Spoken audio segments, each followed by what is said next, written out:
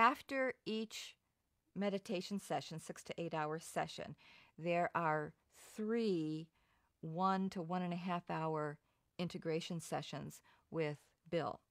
The first one is immediate the next day when um, um, when I give him the report um, that I had written, writing down what I remember. And so I go in the next day to see Bill and give him the report. Um, then there's two additional integration sessions, follow up sessions, where you're integrating the experience. Then, after that third one, after the last one, there is um,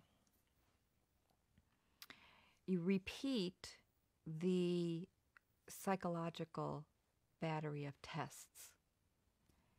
And after the third session, I don't remember doing it at three months,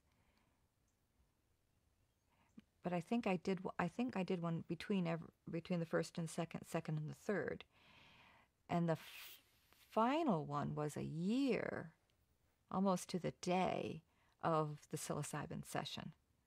So, and yeah, so it's a year later.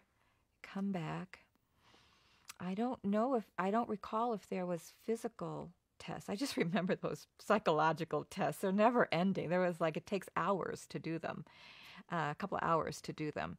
Um, a year later,